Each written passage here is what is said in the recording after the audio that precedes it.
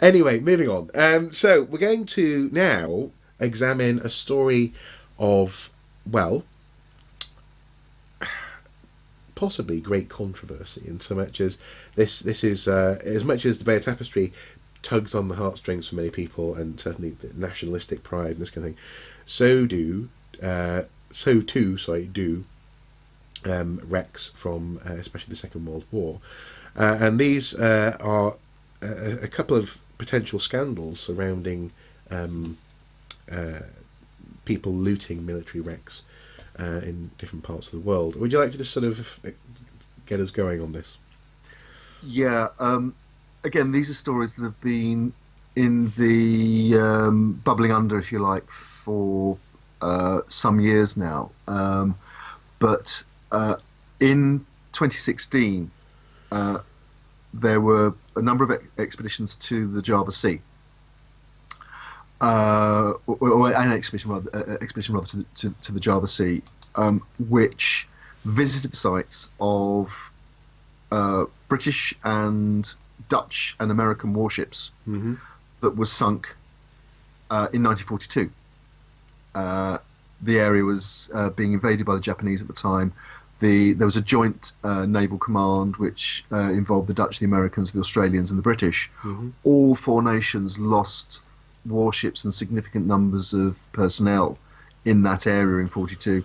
And then afterwards, um, a number a, a, a, a, number of other ships were lost in the area, merchantmen, but also warships, um, including a significant uh, Japanese cruiser called the Haguro. Hmm. Um, in 2016, an exhibition, uh, expedition went there to look for the Dutch ships in particular because they were going to mark the anniversary. Dutch Navy was going to mark the anniversary.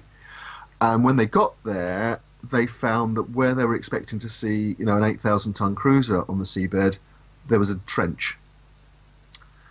Um, and now, thanks to the work of uh, an Indian, an Indonesian, uh, Indonesian website, news website called Tirto.id, mm-hmm. um, and we'll publish the, the link below the line on, on, on the on the video. Which is uh, uh, just briefly, it's an excellent website. I'm looking at it now, and it's it's it's it's it's enter- it's really entertaining.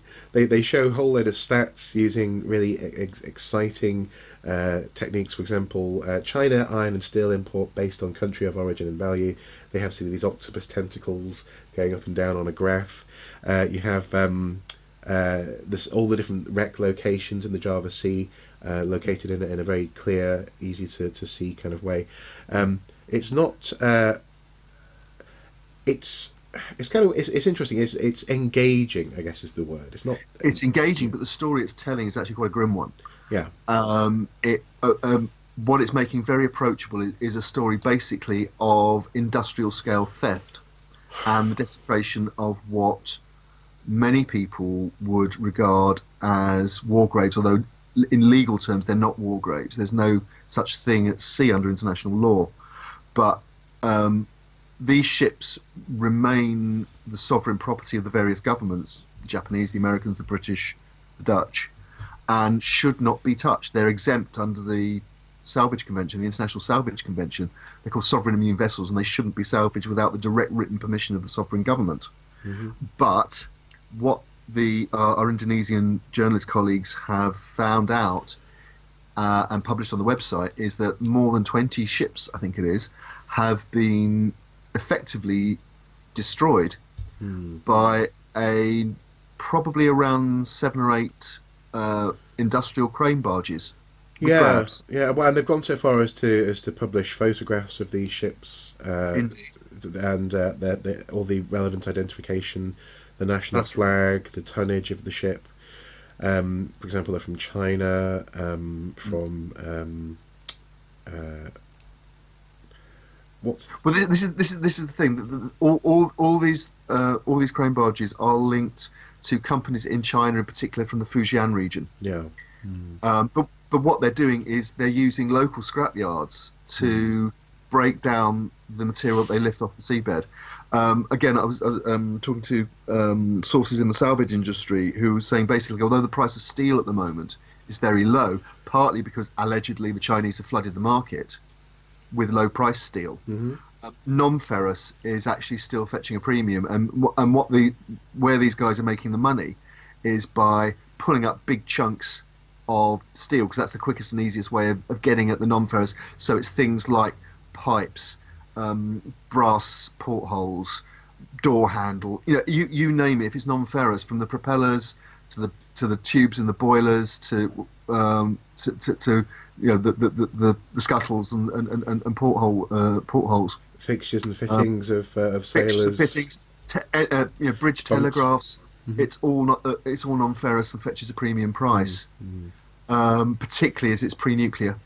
Yeah. So you know that that was you know what you've got here is basically commercial looting. Yeah. Mm. Um, if you if you look at it in those terms.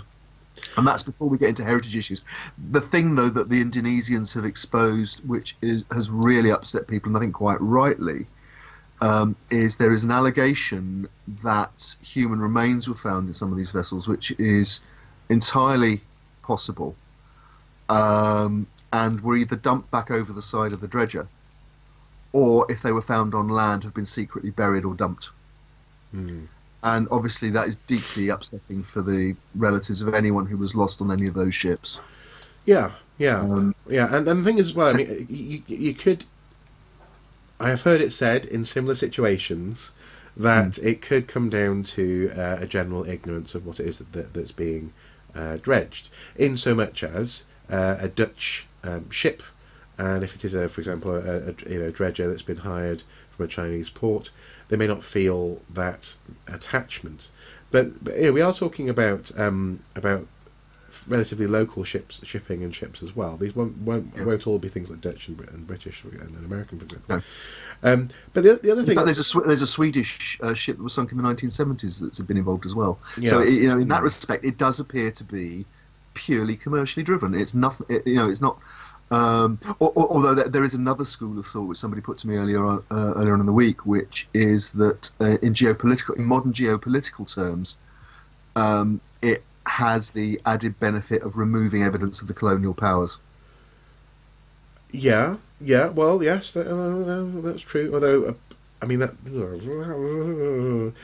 are people really looking looking looking there for, for evidence of the colonial, colonial powers? Well, don't, but, don't forget, you know, in, in China we have a, a country that is investing um, millions and millions of dollars in um, building artificial islands in the um, South China Sea to extend its uh, territorial waters.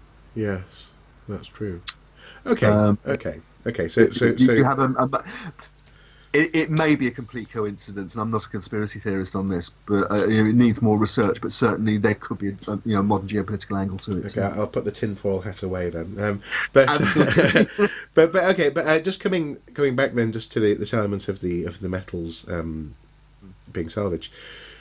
Uh, is there any angle, any argument, any legitimate way in which this can be looked at as a good thing in terms of recycling materials. Uh, I mean, uh, in terms of um, yes, okay, it makes good economic sense to, to lift this, this material because it, it costs less um, to to re, repurpose it as opposed to actually um, uh, you know creating the steel from iron and carbon and this kind of thing.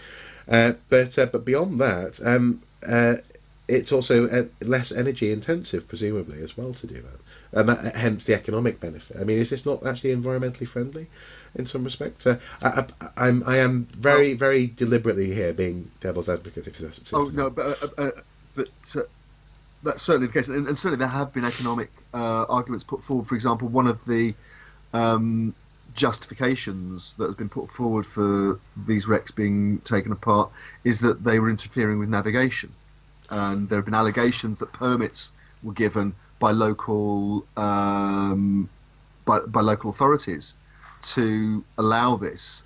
Um, now, again, there are equally there are allegations that this was actually a, a smokescreen and a cover, and that um, shall well, we say not all these transactions were entirely above board. No, well, just just just to clarify, in, interfering with navigation in terms of what the safety of the waters to pass through, or or literally right, the, yeah, the, the, metal the, affecting a, a wreck being obstruction of a sea lane, and right. therefore it's legitimate to remove it. Yes. Um, and you know, and that, and that, and that happens all the time, all over the world. Well, it does. I mean, actually, in, in here in, uh, on the River Tyne, uh, in the in the Tyne, in the mouth of the Tyne. So there's a place called Tynemouth, in the mouth of the Tyne, it feels kind of weird saying it that way around. Um, they uh, they literally have, on a number of occasions, had to sort of brush shi wrecks to one side of the shipping lane to sort of just because they do get in the way, and and and you tend to get, and presumably, you know, obviously in this instance, it, wherever you have landmass especially with strips of water in between, so mouths of rivers, uh, the, the, the, the, passages between islands, you do tend to get a concentration of wrecks. I think the waters That's become right. become more unpredictable, and also there's more of a you know potential for that, that stretch of water to be contested. That's one of the reasons. And you get collisions, and you get. Yeah. Or, mm. you know, um, where sea lanes come together and things like that as well. So yeah, yeah. it's it's, well, well, well and, and and I suppose in that sense, therefore, it is inevitable, I guess, that that that that you will have wrecks in places where they are inconvenient. I guess is what I'm saying. Uh, yes. it, it is unavoidable. Um, yeah. But uh, okay, well, well, um, just to sort of uh, to continue that, that, that line of, of, questioning, then that reasoning, do you think then that there's any way in which it we could find a way forward whereby the, these materials are being recovered in a way that is ethic, ethically sound? Uh, with the permissions of the governments in in in, in, in uh, involved, but also where, for example, human remains and artifacts are returned. Think that would just eat into the profit margin, and that's that's not really in anyone's interest who's actually doing it? That that that's that's a very interesting point. I mean, I, I have spoken to uh, again uh, source in salvage industry who says that um, the rise of heritage as a factor in granting marine licenses, certainly in the UK, um, could um, there's a logic in making a uh, a, a salva uh, somebody who wants to salvage a particular wreck um, treat it like a development site on land, whereby they have to do a pre-disturbance survey. Um, that anything of archaeological importance has to be recorded mm-hmm. and, uh, and, and, published, and that's that's a condition of the license. Mm. Um, and and that would then free up um, vessels to be um, commercially salvaged. Mm. So you know, and, and, the vessel takes the point of the you know the, the, the office development or or, or, the, or the housing development. Um, it's treated exactly the same way. Um, there is another uh, factor in play though, which is the um, the attitude to ships more than 100 years old under the UNESCO Convention mm. on Underwater Cultural Heritage, because there even a steel ship with a uh, cargo of more or less identical, for example, copper ingots, is treated as an archaeological heritage site, mm. and, uh, uh, uh, uh and and therefore is. Um, if, if, if a country is, is signed up to UNESCO, there are all sorts of very strict uh, rules about what you can and can't do. Mm-hmm, mm-hmm. Um, and to make it even more complicated, a lot of those kind of ships, say for example a Victorian steamer that was sunk in a collision carrying a cargo of copper, um, could still be owned by the insurance company that insured the cargo and paid out to the owner, or that company's successor, and still has ownership rights. No, this exactly. You're crossing your eyes at all this. Um, but uh, but in fact, bringing it right up to date and a story that's just breaking in the process of breaking at the moment, um, and it's very ironic, really. And I think what it does is highlight the importance of dealing with this on an international basis. Is that there are now very credible stories coming through about British submarines and German submarines, in particular, off the coast of Holland, that have been um, looted by uh, dive clubs, mm-hmm. uh, souvenirs. Yeah, yeah. Hmm. And um, that I'm in the process of um, writing a piece about that at, at, at the moment. It's um, it, it, it's um, appeared on the on our radar before, but uh, not in quite so much detail as we're now getting. No, so watch, well, watch, this space on that one. Yeah, yeah. Well, actually, it's funny. One one of my first um, one of the first things I did in the northeast when I uh, was first looking for, for, for, for something to do in terms of archaeology when I moved moved back here to marry the wonderful Mrs. Soup um, was actually I was involved in, in logging and transferring records of shipwrecks off the coast into the local HER database, and uh, and the, this is where this is where the, I find I find this whole realm so interesting in so much as I'm not I'm not an expert, but in that instance I got I got a very good crash course in in the relationship between uh, jurisdiction, um, the the wreck involved, the description of the wreck, but also actually where we get that information from. So an awful lot of the detailed information that we were getting about First World War, Second World War, uh, and just general shipwrecks off the coast actually does come from diving clubs. It comes Yes. from people who are, who are diving recreationally, and this Divers is and yeah, yeah. Uh, and uh, but what is it, what's interesting is that is that a little bit like with, for example, metal detecting, it is a subculture. People really do enjoy this, and they- they'll describe the ship as you know a twin, uh, single prop, or you know, tw- what was it, single screw, twin screw, or whatever. They'll describe the, the power of the engine. They'll talk about whether or not the wheelhouse is intact. Um, there are certain key elements that they look for uh, as part of the fun of exploring often in you know low visibility off the north north coast um, the, these wrecks uh, and so actually there, there is a value for, for, for those of us who are interested in in, in, in logging and, and maybe even visiting these wrecks one day in working with these groups but I suppose it's, it's as you say it's it's to coin a term we're in murky waters we are, um, um, and part of it is the i- i- is we're talking about cultures, and it's really interesting. I mean, I mean, two very quick points on that. Um, going back to the Far East, um, there have been issues with two other British ships, the Prince of Wales and the Repulse, um, which uh, diver uh, tour, tourism operators in Malaysia uh, and Singapore have been offering dives on Prince of Wales and Repulse. Um, for uh, a group of people called what are called penetration divers. They're the divers who want to go actually inside a wreck. Mm-hmm. They get they, the, uh, which is obviously a, a very skilled and quite dangerous thing to do. Mm-hmm. Um, but that that's their particular branch of of, of, of the of, of the sport, and they have been known to not just take photographs but also take souvenirs, Mm. including things like beer bottles that they Mm. found inside these wrecks. Mm-hmm. Uh, and that's only the ones we know about. There's an unknown amount of material that could include personal possessions, for example, Mm-hmm. uh, which um, are, may well be in people's private collections now. Mm-hmm. Um, and but and we're certainly seeing in Holland and also in UK waters to a certain extent as well, a divergence again in the diver community between those who are quite happy to take on an archaeological perspective, look but not touch, record and report, and the more traditional diver who sees uh, you know picking up a port, you know a brass porthole as a you know fair exchange and part of the part of part of the sport. It's you know it's almost like you know, artifact fishing. You can make all sorts of analogies with metal detecting in those terms because again, in the metal detecting world, a lot of, often the argument is that um, you know it's a people's sport, and it, they're free to they're free they should be free to collect.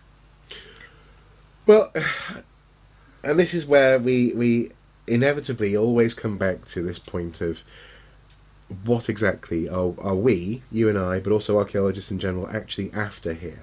Uh, Yes. We often get comments on these sorts of videos where people say, "You can't keep everything," you know, you can't. You, you're being you're being um, somehow you know spoil sports, but also somehow you know like a, an artifact imperialism almost. You know, these are our this is our domain. Um, that's not remotely, I think, what what we're getting at. I think it is about about about uh, the fact that any community, whether it's the archaeologist or or it's the diver or it's the metal detectorist or it's uh, in the case of fishing, you know, there are people who who, who, who, who love catching the fish but then put the fish back. Yeah, you Yes. don't you don't not everything has to be a destructive process. And I think that's something which archaeologists learned the hard way in the early years of, for example, antiquarianism, this kind of thing. You know, once you once you take it, it- it's gone. The value of it in so many ways is destroyed. Uh, and and uh, these these conversations they must be more. they- You know, we have to have more nuanced conversations. Um, we have to acknowledge. And I think, as I was saying in a story last year, I've got forgotten exactly. Uh, it might have been about metal detecting, detecting actually, in so much as uh, we are very similar to these people. Archaeologists are. We are stuff focused as well. We love the stuff. We love this. What the stories, you know, the stories that come out of the stuff that we find, Yeah. uh, and and it's it's about negotiating this path of of the balance between the interest groups, the inherent uh, socio-cultural, historical, or or, or um, uh, emotional value of the material, uh, but also as well how that material eventually ends up. Uh, and so, so there are arguments to be made about recycling. There are arguments to be made about keeping it in place. There are arguments to be made about about the rights of the people to have access to this material. Uh, yeah, and I, I, think there are particular issues around um, shipwrecks that contain human remains, yeah. and particular, even more so, issues around shipwrecks of military vessels. Yes. Because um, you know, and certainly in the UK, and I think, think in places like the States as well, uh, that, that we have what's called the military covenant, where the government undertakes to look after its servicemen and their families, mm-hmm. and that is not uh, an undertaking that ends with the, that person's death. They're, they're, they're going, you know, the part of the military covenant is that, that you know their, their remains will be treated with respect and their families will be given access and things like that. Yeah. Um, but when uh, you have the government apparently turning a blind eye to this kind of mm-hmm. wholesale looting, and what many people would argue uh, the desecration of grave sites, mm-hmm. um, that uh, it, it, becomes a very resonant issue. Yeah. Um, yeah. No, absolutely, absolutely, without a doubt. Um, and, and, yeah, fraught with, fraught with very pertinent issues. Um, undoubtedly, this will come up again in the future. But, I can uh, pretty much guarantee that. Yes, yes.